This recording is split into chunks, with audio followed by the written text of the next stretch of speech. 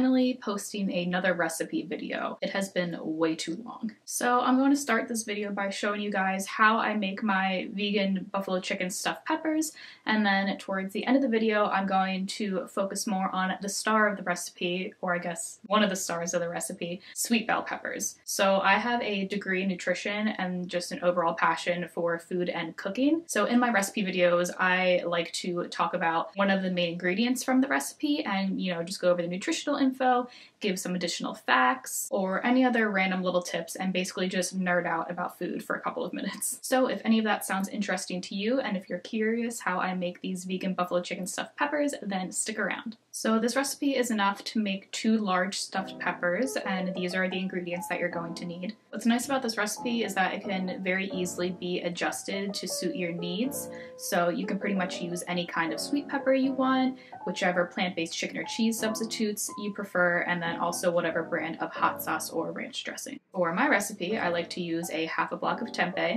two green peppers, mostly just because they're always the cheapest ones, one and a half cups of cooked brown rice, a half a cup of yellow or white chopped onion, one stalk of celery, you can do two. I wasn't really sure how much I wanted to use when I filmed this, so I only ended up using one of them. Two slices of Violife smoked provolone, two tablespoons of Daiya ranch dressing, 2 tablespoons of Frank's Red Hot Sauce. To season the tempeh while cooking, I use equal parts of garlic powder, onion powder, paprika, thyme, and salt. Probably used about an eighth of a teaspoon each. After gathering all of your ingredients, the first thing you're going to do is preheat your oven to 350 degrees Fahrenheit. So I like to begin by chopping up my tempeh and my veggies. I already had the onion chopped, so you're not going to see me cutting that, but you do need a half a cup of chopped onion, which is about the equivalent of a half of a small or medium onion.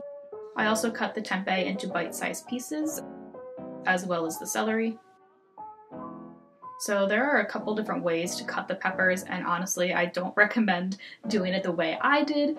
Um, I always do it and then regret it later because they just don't stand up well when you're cooking them. So you can cut them this way by cutting the top off or you can cut them in half from top to bottom and lay the halves down on their sides in the oven. If you do cut them the way that I do in the video, you could also cut a very thin slice off of the bottom of the peppers. That way they have a flat base to sit on. But again, I forgot to do this as well, so seriously for this part, just do as I say and not as I do. Next, I cook the onion and tempeh by heating up one to two tablespoons of olive oil in a pan over medium heat. First, I add the tempeh to the pan, mix it around to coat them in oil, and then I add my seasonings.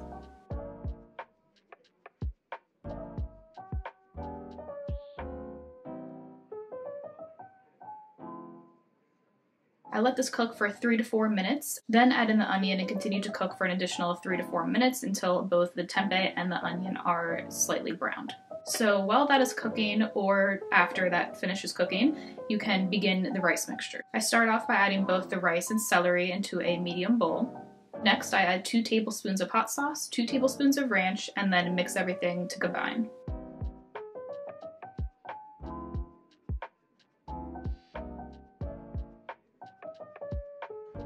Next, add in the tempeh and onion and mix everything together once again to make sure it's fully combined. It might be a good idea to do a little taste test at this point and just see if there's anything that needs to be adjusted, such as more ranch or more hot sauce. As you can see, I didn't think mine was spicy enough, so I went ahead and added a little more hot sauce, probably around one to two tablespoons more. Then comes the fun part, which is filling the peppers. I don't think I end up showing the full process in this video, but this recipe was exactly enough to make two large stuffed peppers. So if you do have maybe three smaller peppers, this could be enough to make more than two. I just recommend pressing the mixture down every few scoops to make sure everything is really packed in there. And since I was not intelligent in the way that I cut my peppers earlier, I ended up putting them in a bread pan just so they had walls to hold on to so they wouldn't fall over while cooking. But if you cut them in a different or better way, then putting them on a baking sheet is perfectly fine too. So once the peppers are stuffed, I place them in the oven to cook for 20 minutes. And after the 20 minutes is up, I take the peppers back out of the oven, take my two slices of smoked provolone and stick them on top of the peppers and then put them back in the oven to cook for an additional five minutes. Now, if you want the more bubbly browned effect, then I suggest you turn off your oven and put on the broiler on high and just make sure you're watching the peppers the entire time so nothing burns or melts over the sides of the pan. If you don't want to do that, then you can just keep the peppers at 350 and cook until the cheese is melted, which is going to be, you know, a couple of minutes depending on what brand of cheese you're using. And there you have it, my vegan buffalo chicken stuffed peppers recipe. So feel free to add any additional toppings like scallions or hot sauce, more ranch, perhaps some celery on the side. Definitely let them cool down for a couple of minutes because they're going to be extremely hot and you do not want to burn yourself um, like I do most of the time, but otherwise they are ready to enjoy. Well, I hope you guys enjoyed this video. If you end up trying the recipe, let me know down in the comments how it went. Also feel free to comment other substitutions that you have in mind or that you used. I'd love to see what different variations people come up with of this recipe because there's so many different ones you can do with all of the plant-based cheeses, chicken sauces that are on the market these days. And like I said earlier, I definitely recommend cutting the peppers in half from top to the bottom and then laying them on their sides, kind of like um, the pepper was laid in the last shot. I only did that so I could show you guys what the inside inside of the pepper looked like. But if you end up doing that, then of course you're going to have one half of each pepper. So you're gonna have four halves of peppers in total. And then you can also lay the cheese on top of the half and then the cheese is covering a greater surface area of the rice mixture and we stand more cheese in this household. So it's up to you, both ways work.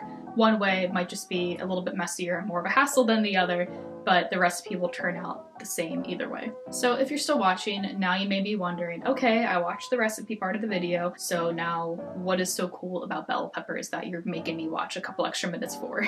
not that I'm making you, that's up to you. I'm not forcing you to be here, you can leave whenever you want, but you know, please stay. So bell peppers, why should we be eating them? Why should we include them in our diet? What makes them so wonderful? Well, for starters, they're a fruit, so you already know that you're going to be getting a bunch of nutritional benefits. Bitch, what? Oh yeah, sorry. Peppers are technically fruits, not vegetables, because they come from the flower of the plant. So Sorry if I just ruined your childhood or something. Tomatoes aren't the only produce that people have been lying to you about all these years. But regardless of what you want to call them, peppers can add many flavors and nutritional benefits to your diet. In terms of macros, there isn't too much going on just because they're mostly made of water. If you are curious, the large green peppers that I used each contain about 32 calories, 7 grams of carbohydrates, and 2 grams of fiber, which is fantastic, 0 grams of fat, of course, and then about 1 gram of protein. So, of course, peppers, like most fruits and vegetables, are really great for people who need or require or just want a low fat diet, which of course we know is associated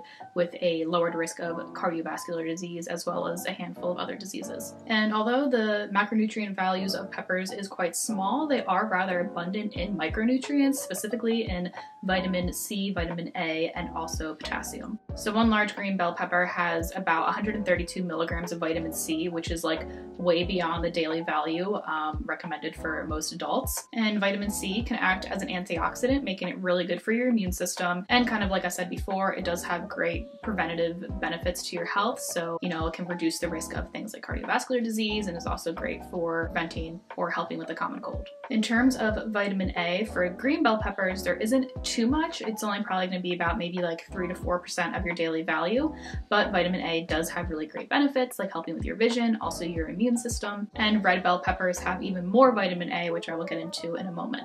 And for potassium, again, not quite as high as the vitamin C, but you are still getting a decent amount. I think about like 8%, depending on your body type and composition. Potassium is something that most adults in the United States aren't getting enough of. You know, we're getting way too much sodium and not enough potassium because the two are related. And having potassium in your diet is really crucial for preventing hypertension. So by increasing the amount of potassium that you include in your diet, you're also then decreasing your blood pressure, which is mostly due to the increase in sodium that is leaving your body as a result. And like I said before, this is great for preventing hypertension, and potassium is also good for bone health and possibly in preventing kidney stones. So besides the nutrition facts that I just gave to you, there are a couple of other, I guess, fun little facts about peppers that I wanted to share. I feel like one of the biggest questions is always what causes the peppers to be different colors. Is it just different peppers or is it the stage of ripeness? As far as I can tell from my research, the answer is both. So a lot of the times, you know, green peppers are usually unripe peppers where red is the other end of the spectrum and is when they are ripe and most mature. And you can get red peppers from green peppers. In fact, last summer I actually grew green peppers and they all ended up turning red because I didn't harvest them in time. But you can also, you know, grow other colors of peppers from a different variety of plants, if that makes sense. And as I kind of alluded to before, there are different nutritional benefits. They're not going to vary too too much on most things, but vitamin A is going to be the biggest one. So because of the beta carotene content in red peppers, you're going to be getting way more vitamin A from the red scale spectrum of peppers than you are from the green spectrum of peppers. And they're also going to have a little more vitamin C as well. But other than the micronutrients, just a couple other differences is that because green peppers are harvested sooner and require less energy to you know, get them matured to red peppers, they cost less.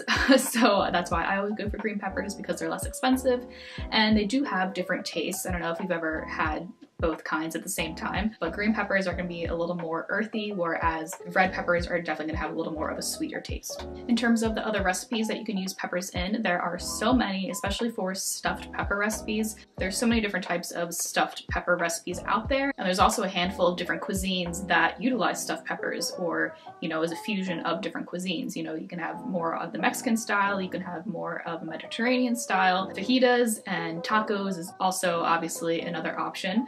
Um, I personally also like to use peppers as like scoops for dips such as guac or hummus. You know, instead of using carrot sticks, I'll use just pieces of bell pepper. Of course, peppers are also great for stir fries, of which there is a million recipes. And then I personally also enjoy peppers and onions on pizza when I decide to have toppings. I normally don't, but if I do, it's either extra cheese or peppers and onions.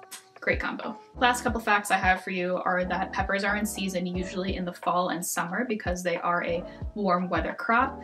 Although in most grocery stores, at least where I'm from, peppers are in the store all the time no matter what season it is. But you know, if you are looking to grow your own at some point, which they're pretty easy to grow, just know that you're gonna need to plant those more in the springtime, summer, the more warmer months. In terms of storing the peppers, most of the resources I saw suggested either putting them in the crisper, or if you don't have a vegetable crisper, you can just put them in a plastic bag and they'll be good in the fridge for up to five days. Personally, you should probably do as I say, not as I do. But a lot of the time I'll get peppers, I'll just throw them in a random part of my fridge. When I'm ready for them, I'll take them out and wash them. That might be a day after I buy them. That might be like two weeks after I buy them. so as long as they're not moldy and they're not squishy or have any like brown moldy parts, then you're normally good to go. Alright guys, well that is all I have for you. If you made it to the end of the video, thank you so much for watching. Thank you so much for supporting my channel. Again, if you make this recipe, please let me know down in the comments. I would love to hear about it. Otherwise, I had a really great time filming this video. It felt good to film a recipe video again because that's kind of why I originally created my YouTube channel was to share recipes and I haven't really shared that much but I do have another one set up for probably not until a couple of weeks from now, but the recipes are coming, I promise. So yeah, thank you guys guys for sticking around, and I will see you next week.